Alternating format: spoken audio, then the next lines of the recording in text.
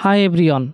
To use the Figma UI UX designing tool, we need to create a Figma account. It's super easy.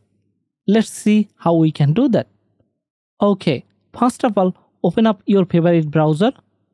On the address bar, type figma.com.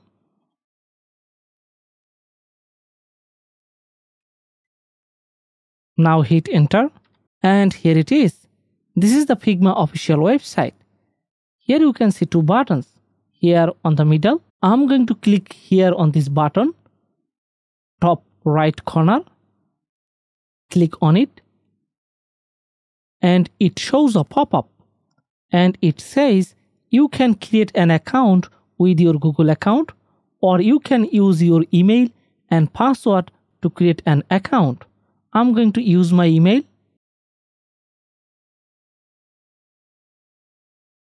I'm going to set a password and click this button create account.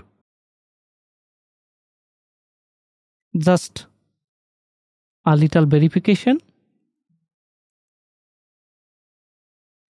Here I'm going to enter my name and I'm going to select some options. And as I'm a programmer and designer I'm going to choose design. I'm going to use for my work and check this box to agree the Figma's terms and condition. And finally, click create account. Now we need to verify our email. Figma has already sent a verification email. Let's log into our email.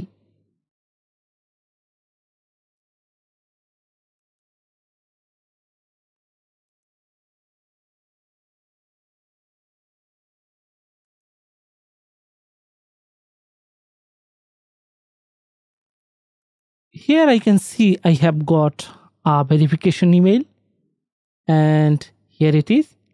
To verify the email account, I need to click this verify email button. Here it is. I'm going to click on it.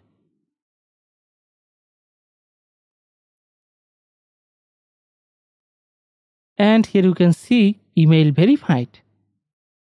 And it has sent us to this welcome screen. Now it want me to create a team but I can do it later. So I'm going to click this button do this later. And here you can see choose a plan for your team. I'm going to start with the free one. So I'm going to click start for free. And here we see two options. What we can do with Figma first?